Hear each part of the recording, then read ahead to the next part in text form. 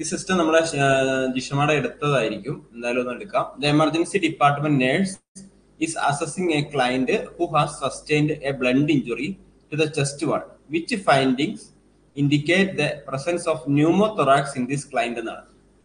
നാല് ഓപ്ഷൻ കൊടുത്തിട്ടുണ്ട്. A low respiratory rate diminished breath sound the presence of barrel chest a sucking sound at the site of injury so emergency nurse ക്ലയന്റിനെ assess ചെയ്യാണ്. Blunt injury വന്നിട്ടുണ്ട്. Blunt injury എന്ന് പറഞ്ഞാൽ എന്താണ്? It's a forceful injury അല്ലെ? Forceful injury ആണ്. പക്ഷെ എന്താണ്? Non penetrating ആണ്. നോൺ പെനിട്രേറ്റിംഗ് അതായത് തുളച്ചു കയറാത്ത നോൺ പെനിട്രേറ്റിംഗ് ഇഞ്ചുറി ആണ്. സോ ഏത് ഫൈൻഡിങ് ആണ് ന്യൂമോത്രാക്സ് ഉണ്ടെന്ന് നേഴ്സിന് മനസ്സിലാകുന്നത്? ജസ്റ്റ് ഒന്ന് കമന്റ് ചെയ്തോളൂ. നമ്മൾ ഉദ്ദേശിക്കുന്ന ആകണമെന്നില്ല. കാരണം ഇത് ബ്ലണ്ട് ഇഞ്ചുറി ആണ് കേട്ടോ. അതായത് നോൺ പെനിട്രേറ്റിംഗ് ആണ്.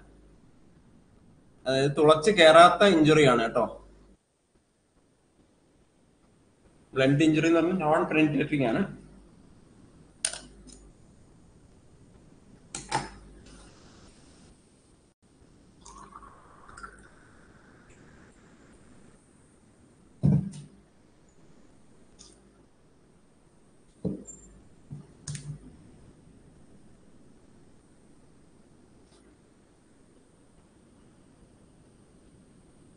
ഓക്കെ ആൻസർ സംശയം ഉണ്ടെങ്കിൽ ഞാൻ പറയാം.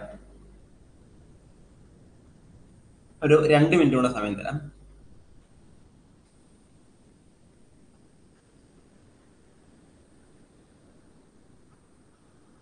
ഓക്കെ എല്ലാവരും ബി ആണ് കമന്റ് ചെയ്തിരിക്കുന്നത് കറക്റ്റ് ആൻസർ ആണ് കേട്ടോ. ഓപ്ഷൻ ബി തന്നെയാണ് correct answer so non non penetrating blood injury എന്ന് പറയുമ്പോൾ ഡിമിനിഷ്ഡ് ബ്രീത്ത് സൗണ്ട് ആണ്. ഈ ബാരൽ ചെസ്റ്റ് കാണുന്നത് എംഫൈസിമേലാണ് ഓക്കെ എംഫൈസിമേൽ എന്താ സംഭവിക്കുന്നത് വെച്ചാൽ എയർ ട്രാപ്പ് ചെയ്യും. ലങ്സിൽ എയർ ട്രാപ്പ് ചെയ്യും. അപ്പൊ ആ സമയത്ത് എന്താണ്? ഒരു കുഴൽ പോലെയുള്ള ചെസ്റ്റ് ബാരൽ ചെസ്റ്റ് വരുന്നതാണ് എംഫൈസിമേലാണ് because of the air trapped in the lungs sucking sound വരുമ്പോൾ ഓപ്പൺ ചെസ്റ്റ് ഇഞ്ചുറി ആണ്. ഓപ്പൺ ചെസ്റ്റ് ഇഞ്ചുറി വരുമ്പോഴാണ്. ഞാൻ സമയം എടുത്ത് മെല്ലെ എഴുതി എടുക്കുക അങ്ങനെയാണെങ്കിൽ നിങ്ങൾക്ക് വായിക്കാനും പറ്റും. ഇങ്ങനെ മെല്ലെ എടുത്ത് എഴുതി കഴിഞ്ഞാൽ നിങ്ങൾക്ക് പിന്നെ വായിക്കാൻ പറ്റും അല്ലേ? സ്പീഡ് കൂട്ടി എഴുതുന്നില്ല മെല്ലെ എഴുതുള്ളൂ. സോ സക്കിംഗ് സൗണ്ട് വരുന്നത് ഓപ്പൺ ചെസ്റ്റ് ഇഞ്ചുറി ആണ്. So the client has sustained a blunt injury അല്ലെങ്കിൽ ക്ലോസ്ഡ് ഇഞ്ചുറി ബ്ലൻഡ് ഇഞ്ചുറി എന്ന് പറഞ്ഞാൽ ക്ലോസ്ഡ് ഇഞ്ചുറി ആണ്. Basic symptoms of a closed pneumothorax are shortness of breath so symptoms എന്തൊക്കെയാണ്? Symptoms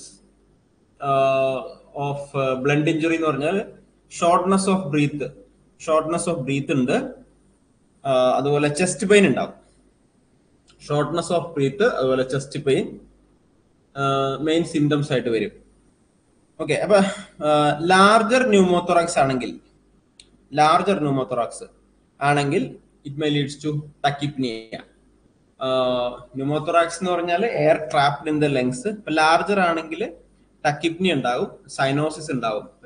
ന്യൂമോത്തോറാക്സിൽ tachypnea cyanosis ഇതൊക്കെ larger ന്യൂമോ തൊറാക്സിൽ വരുന്നതാണ് tachypnea cyanosis diminished breath sounds ഇതൊക്കെ വരും.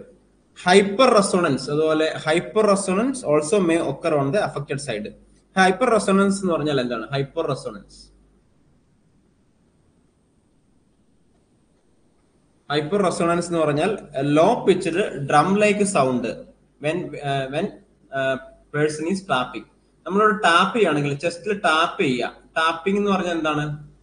അല്ലെ നമ്മുടെ ഫിംഗർ ഉപയോഗിച്ച് നമ്മളൊരു ഇങ്ങനെ ഇങ്ങനെ തട്ടത്തില്ലേ? സോ ദാറ്റ് ഈസ് ടാപ്പിംഗ് ഈ ടാപ്പിംഗ് ഉള്ള സമയത്ത് ഹൈപ്പർ റെസൊണൻസ് ഹൈപ്പർ റെസൊണൻസ് എന്ന് പറഞ്ഞാൽ ലോ പിച്ചഡ് സൗണ്ട് ആണ്. Low pitched drum like sound വരാം. അപ്പൊ ഇതൊക്കെ എന്ന് പറഞ്ഞാൽ ന്യൂമോത്തോറാക്സിൽ ഉണ്ടാകുന്നതാണ് കേട്ടോ. അപ്പോ എന്തൊക്കെയാണെന്ന് നമുക്ക് ഒന്നുകൂടെ നോക്കാം.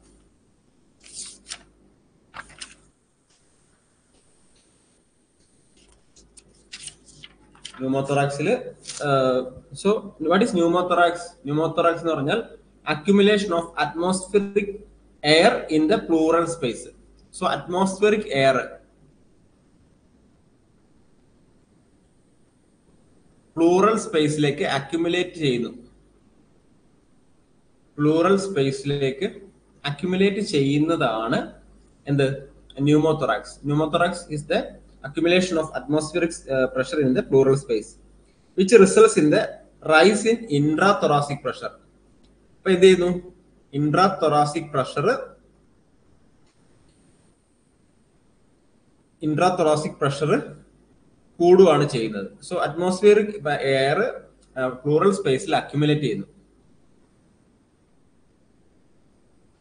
So that leads to increased intrathoracic pressure and reduced vital capacity. Vital capacity എന്ന് പറഞ്ഞാൽ എന്താണ്? നമ്മൾ പറഞ്ഞില്ല ലങ് വോളിയസ് വോളിയംസ് ഒക്കെ. അതൊക്കെ കുറയും. സോ അറ്റ്മോസ്ഫിയറിക് എയർ ഫ്ലൂറൽ സ്പേസിലേക്ക് വരുമ്പോൾ ഇൻട്രാതൊറാസിക് പ്രഷർ കൂടുന്നു വൈറ്റൽ കപ്പാസിറ്റി കുറയുന്നു. So the loss of negative intrapleural pressure results in collapse of the lung അല്ല സാധാരണ നമ്മൾ ശ്വാസം ഉള്ളിലേക്ക് എടുക്കുമ്പോൾ വയറ് വീർക്കുകയും ശ്വാസം പുറത്തേക്ക് വിടുമ്പോൾ വയറ് ചുരുങ്ങുകയും ചെയ്യും. ഇതിന്റെ നേരെ ഓപ്പോസിറ്റ് നടക്കാനുള്ള സാധ്യതയുണ്ട് ഫ്ലെയിൽ ചെസ്റ്റിലൊക്കെ ഞാൻ പറയാം.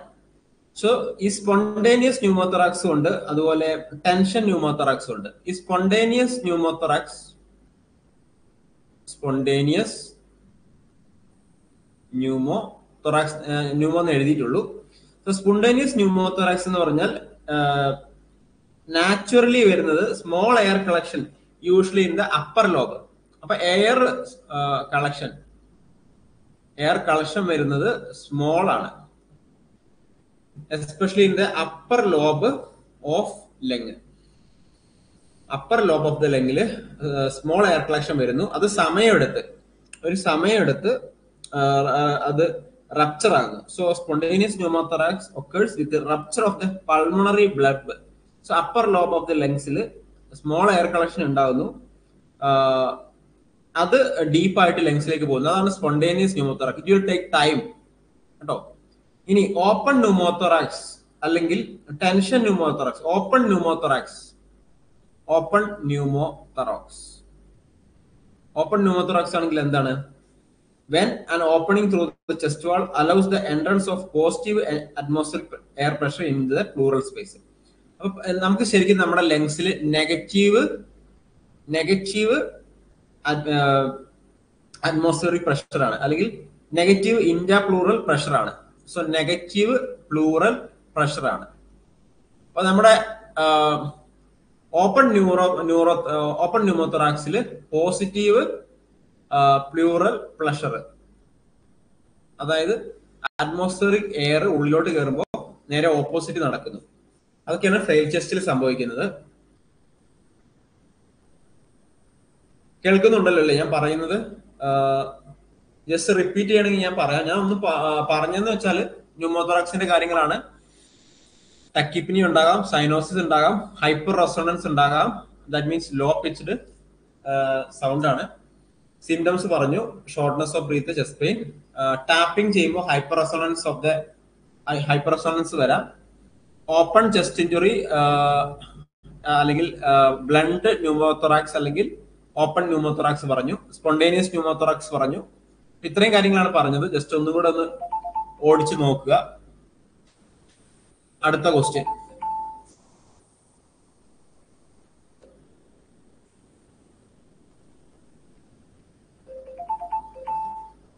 യെസ് അമൃത ഓക്കെ അല്ലേ? Aneesha okay okay thank you next question the nurse is caring for a client hospitalized with acute exacerbation of the chronic obstructive pulmonary disease which finding would the nurse expect note on assessment of this client select all that apply just ഒന്ന് attend ചെയ്യാൻ നോക്കുന്നു വായിച്ചിട്ട് ഒന്ന് just ഒന്ന് answer ചെയ്യാൻ try ചെയ്യും. ഒന്നെങ്കിലും try ചെയ്ത്. ചിലപ്പോൾ ഇതിനകത്ത് രണ്ടോ മൂന്നോ ആൻസർ ഉണ്ടാകാം. രണ്ട് ആൻസർ മിനിമം ഉണ്ടാകാം. നിങ്ങൾ ജസ്റ്റ് ഒന്ന് ട്രൈ ചെയ്താൽ മതി.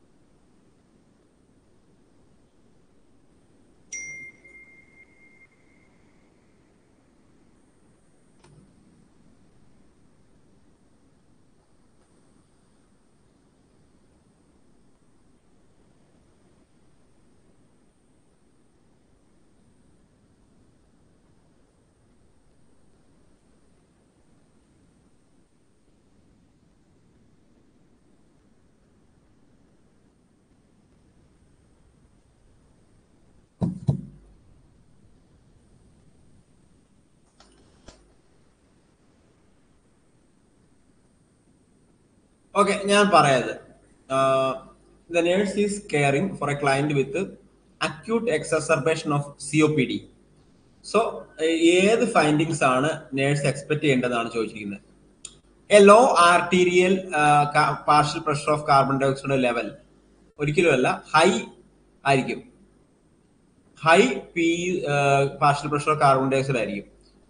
ലോ ഓക്സിജൻ ലെവൽ ആയിരിക്കും അല്ലെ? സി ഒ പി ഡിയിൽ hyper inflated chest noted on the X-ray. Hyper inflated chest ആയിരിക്കും. ഞാൻ തരാം. എന്തായാലും hyper inflated chest noted on the X-ray. That is correct and decrease the oxygen saturation with mild exercise that also correct widen diaphragm ആയിരിക്കില്ല. Flat and diaphragm ആയിരിക്കും chest x-ray നോക്കുമ്പോൾ diaphragm flat ആയിരിക്കും. Flat diaphragm ആയിരിക്കും. എന്താണ് കാരണം? Because air trapping air trapping of the lungs pushes the diaphragm down so flattened diaphragm ഉണ്ടാകാനുള്ള കാരണം air trapped in lungs pushes lungs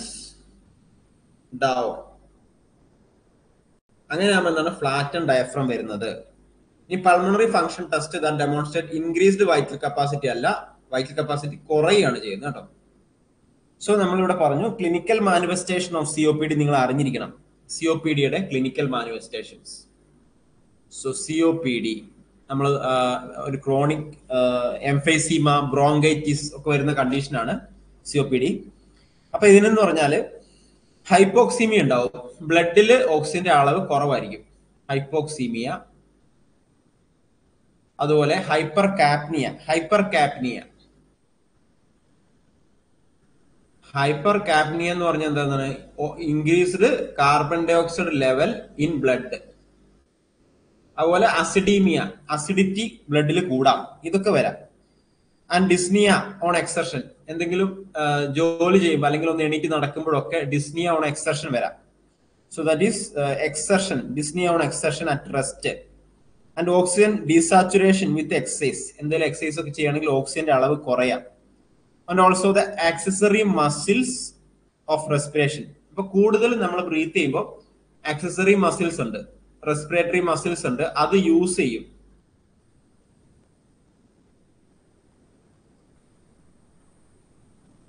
റെസ്പിറേഷന്റെ ടൈമിൽ ആക്സസറി മസിൽ യൂസ് ചെയ്യാനുള്ള സാധ്യത വളരെ കൂടുതലാണ്. And chest X-ray reveal hyper inflated chest hyper inflation അതായത് chest കൂടുതൽ inflation വന്ന് നിൽക്കും. അതായത് എയർ ട്രാപ്പ് ചെയ്തുകൊണ്ട് തന്നെ ഹൈപ്പർ ഇൻഫ്ലേഷൻ വരും. അതുപോലെ ഫ്ലാറ്റ് ആൻഡ് ഡയഫ്രാണ് അതിന്റെ കാര്യം ഞാൻ പറഞ്ഞു. Okay demonstrate decreased vital capacity so hyper inflated chest lungs എന്ന് പറഞ്ഞു. Lungs larger than normal due to trapped air so hyper inflated chest lungs larger എന്ത് എന്തുകൊണ്ടാണ്? Because of the air trapped air trapped ഇങ്ങനെ നിങ്ങൾ വായിക്കണേ. Air trapped in the lungs that why that's why lungs hyper inflated കേട്ടോ ഞാൻ ഇതിന്റെ discussion തരാം. Flattened diaphragm ആയിരിക്കും വരുന്നത്.